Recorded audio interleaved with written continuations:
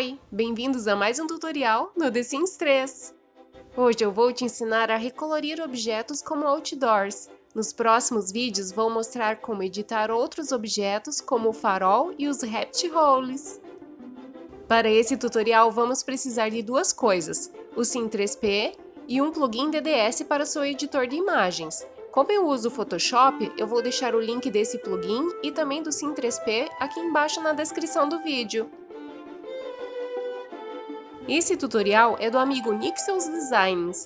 Ele tem um canal no YouTube e um blog onde ele mostra os mundos incríveis que faz. Recomendo fortemente que vocês conheçam. O link vai estar aqui na descrição do vídeo. Eu apenas traduzi esse tutorial e adaptei em algumas coisas.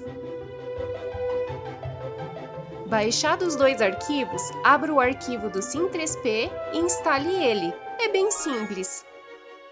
Já viu a playlist de tutoriais no The Sims 3? Vou deixar ela aqui em cima no card e também no final do vídeo.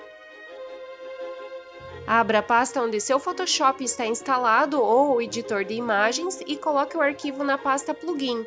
É assim, bem simples.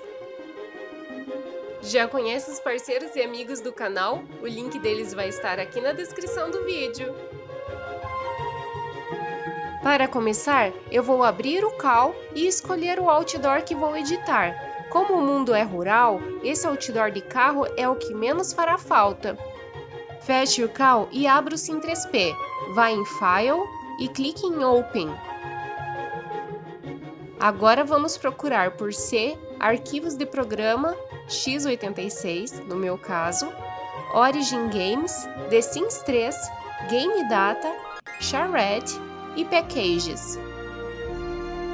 Aqui temos vários arquivos, mas o que queremos trabalhar devem estar em apenas dois, Full Build 0, mas geralmente achamos tudo em Full Build 2, então escolha ele.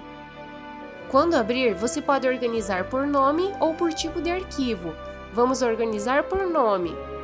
São muitos arquivos, mas geralmente conseguimos achar o que estamos procurando através do nome em inglês ou nomes similares. Isso pode custar um bom tempo na sua procura.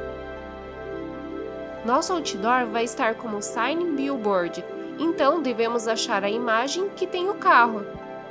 Clique em cima com o botão direito Coloque para exportar to File e escolha o local para salvar. Eu criei uma pasta na área de trabalho. Feche o Sim3P. Agora abra a imagem com o seu editor de imagem. Nós só conseguimos abrir ela porque instalamos o plugin DDS lá no começo. Eu troquei a imagem do carro por essa do trator da Store e coloquei um saco de adubo ao lado, acho que combina bem mais com o mundo rural que vamos importar. Salve a imagem substituindo a antiga. Podemos ver que está em DDS. Feche o editor de imagem e abra o Sim3P. Agora vamos importar a nova imagem. Podemos importar isso para um mundo que já está instalado e que você joga. Para isso, vá em File, Open, Documentos, Electronic Arts The Sims 3, Installed Worlds e procure pelo mundo. Abra. Mas nós aqui vamos importar a imagem para um mundo que ainda estamos fazendo, então eu vou procurar ele onde eu sempre salvo. Escolho ele e abro. Já conheça as redes sociais do canal? Curta a página no Facebook e me siga no Instagram. Agora também temos um servidor no Discord, o link vai estar aqui na descrição do vídeo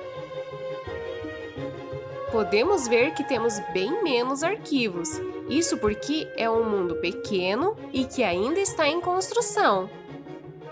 Vá em Resource e clique em Import from File. Precisamos achar o arquivo do Outdoor novo, o do trator. Eu salvei lá na área de trabalho. Selecione o arquivo e abra. Confirme a importação e pronto! Antes de fechar o Sim3P, lembre-se de salvar. Para isso, vá em File e Save. Feche tudo. E agora, abra o seu mundo no Cal. Pronto! O outdoor do carro agora foi substituído pelo outdoor de trator que fizemos. Você é novo por aqui? Temos vídeos de construção no The Sims 2, 3 e 4. Eu também faço vizinhanças para o The Sims 2, mundos para o The Sims 3 e vários tutoriais para o jogo. Se ainda não for inscrito, se inscreva no canal e ative o sino para não perder os próximos vídeos. Entre no Editar no Jogo para ver com mais qualidade o nosso trabalho. Não esquece de deixar o like e comentar alguma coisa. Se não tiver nada para comentar, diga The Sims 3. Seu like e seu comentário ajudam muito o canal e são um incentivo para eu continuar trazendo conteúdo para vocês. Nos próximos vídeos vamos editar o farol e os rapt holes. Em seguida eu quero mostrar a vocês como mudar a cor da água e também como mudar a cor do céu. Mais uma vez eu agradeço ao amigo Nixels, que fez esse tutorial em espanhol no fórum Create a World.